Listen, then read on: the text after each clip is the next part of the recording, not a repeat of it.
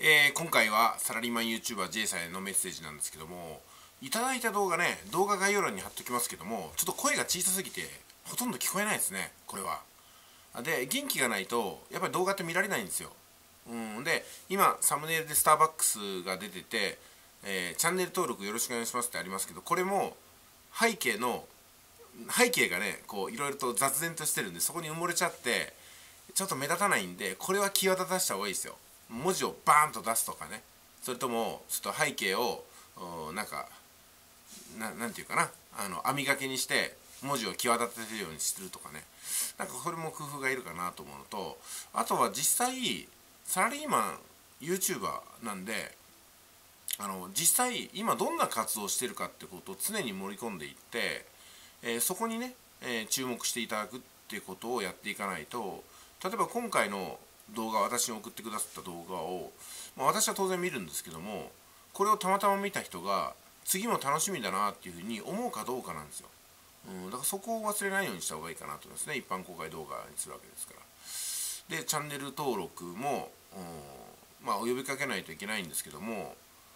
何を期待してチャンネル登録をお願いするのかってこともその発信する J さん自身が持ってないとこれはチャンネル登録起きないですよ。だって次どんな次回は何をしますっていうのをまで予告しろとは言わないんですけども、まあ、予告した方がいいですけどもね。で今回のうん何ですかね「速稼塾塾長久保さんへ」っていうタイトルでこの動画で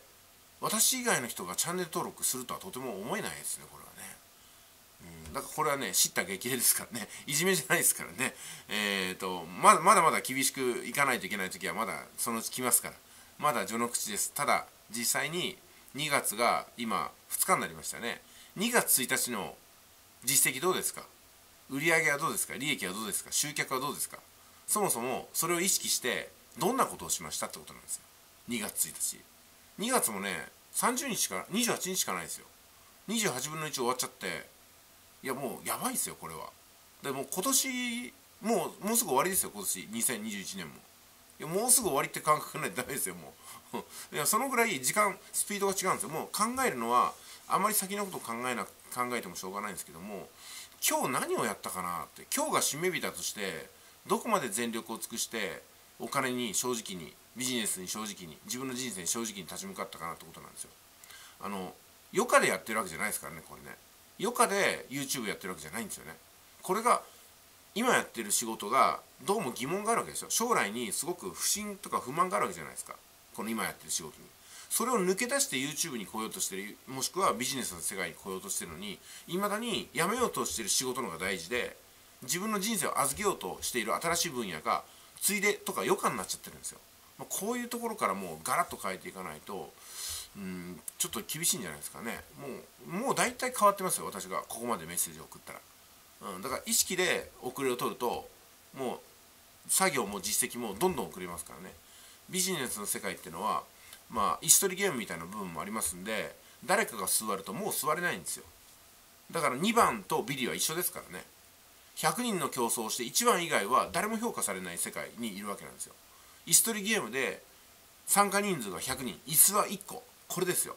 この意識を持ってやらないとあの明日の明日は明日のチャンスがあると思っちゃダメですよ。明日はもうチャンスがないわけですから。というのはあるんだけども今日チャンスがつかめない人に明日のチャンスはもっと難しいんですよ、うん、だから今日つかめるチャンス今日座れるうちに座っとかないと本当にね、えー、ああ俺の方が早くやってたのになとかね。なんであいつが俺よりも先にみたいなことになっちゃってますます自分のことが本当にね好きになれなくなっちゃったりとかそれこそねもっともっとへこんじゃいますんでまあ明るく元気にもう奪っていくつもりでやりましょう。本当に自分の身一つで勝負っていうのは誰も変わってくれない。上司も守ってくれない。部下も自分の身代わりになってくれない。同僚も励ましてくれないって世界ですからね。まあこのビジネスっていうのは当たり前なんですそれが。自分以外に何にもないわけですよ。でも多くの人に信頼してくださってそして多くの人に商品買ってくださって多くの人からお金をね集めていくっていう作業ですから、まあその辺からその辺からっていうとまだ分かりにくくなりますけどね。じゃあ2月2日でしょ。今日一体何をするんですか？みたいなことをね自分に問いかけながら一日過ごしてみてください。いってらっしゃい。